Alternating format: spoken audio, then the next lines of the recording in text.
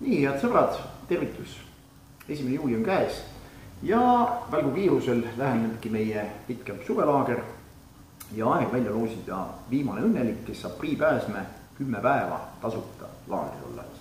olgu öeldud, paketi tavaväärtus kolmsada viiskümmend eurot ja see õnnelik saab olema see, kes on käinud Fitshopi poodides aasta jooksul, on sooritanud ostu, on ära täitnud öö, osalemis sellise kupongi, loosikupongi ja piiranguid ei ole, mida aktiivsem ostja on olnud, seda rohkem neid loosikuponge on siia sisse patsatanud.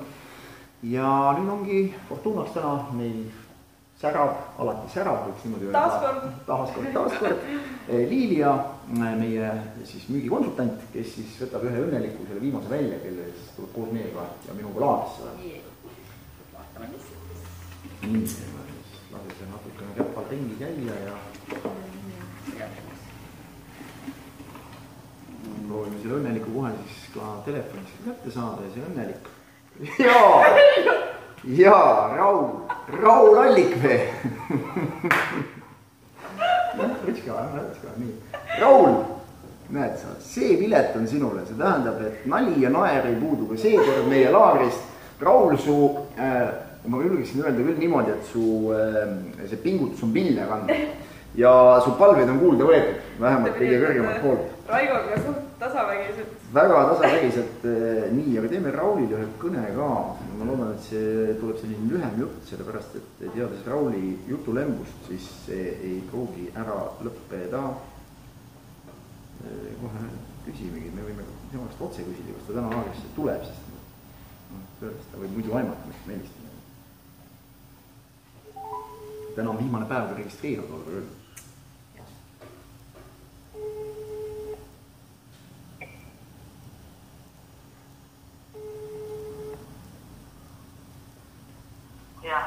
tere, Raul!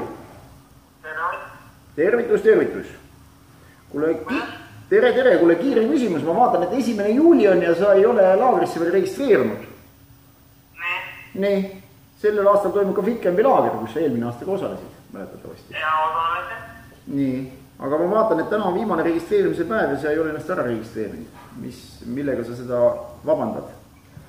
seda tege-, tegemata. sõidame hetkel Otepää poole. Ja kui kohale jõuad, teed regamise ära või? millal teeme üldse? no kallis mees, see toimub viisteist kuni kakskümmend neli juuli mul siis ei matši välja kuidagi. kuidas nii, sa oled kuskil ära või? olen jah, Ku- kuule, aga siis on mul kahju, tead, sest ma oleks sulle priipääsme tegelikult sinna andnud. mul on siiralt kahju, et me peame selle pääsme prügikasti viskama. oota, aga. Oot-oot-oot, aga ei, aga kuidas see jutt nüüd muutuma siis. ah soo, vaata kui huvitav, et see jutt hakkab poole pealt muutuma. sa pead tänama Fitshopi müüjat Liljat, kes võttis täna viimase loosiga sinu nime välja siit seest. aga no kui sa tulla ei saa, tead, siis ma mõtlen, et siis võib-olla tõesti me ei hakka pressima, vägisi paneme selle ära oi, ma tulen. no tule, sa oled olemas laagris, nii et pane, hakka asju pakkima, kui sa sinna Otepääle jõuad. ei, no oota, mis kuupäev see oli? No mine nüüd Fitshopi lehele ja vaata, kus koha peal see on. me võtame sinuga juba eetris väliselt, me olime otse-eetris, nii et me salvestasime selle jutu, ma vabandan. aga ma arvan, et see sai lustakas lugu, nii et äh, aitäh, Raul sulle ja me saadame sulle enne info, kus ja mis toimub, et sa maha näeme laagris, ole tubli. aitäh, tšau. tšau. No näete, huvitav on see, et poole sõna pealt hakkab jutt muutuma, kui hakkad priipääsemist laagrisse rääkima. ju siis tasub tulla. ju siis tasub tulla ja Raul oli tõesti eelmine aasta ka oli kohal ja oli selline laagri hing võib öelda.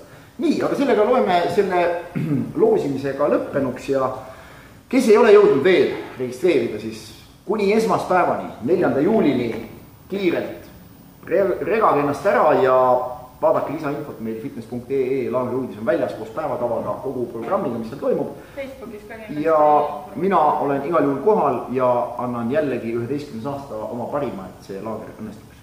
ilusat suve teile! tšau.